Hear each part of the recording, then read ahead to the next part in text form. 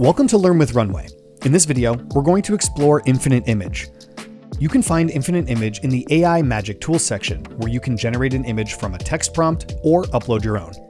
For this example, I'm going to use this painting by Elizabeth Louise Vigée Lebrun. First, I'll start by moving my generation frame where I want it, making sure to overlap the new generation frame with the existing artwork, then I'll enter my prompt.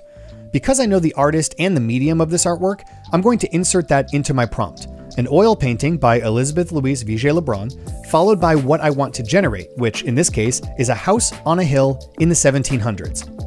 After clicking generate, I'm presented with four generation options that seamlessly blend with the image that I uploaded. When you find one that you like, click accept, then move the generation frame to a new location, making sure to always overlap the frame with the existing art, which will give you a seamless transition to the new frame.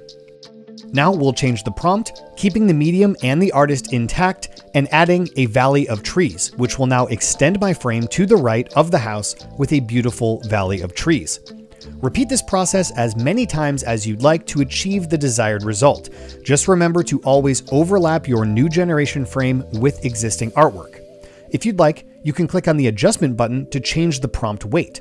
A lower number will give you a more creative result, while a high number will be more true to the text prompt.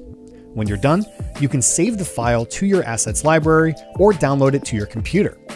For added creativity, try opening the image in the Erase and Replace tool to clean up any parts of the image that you want to change.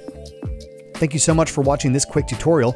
If you need to get in touch with us, use this button on your dashboard at any time.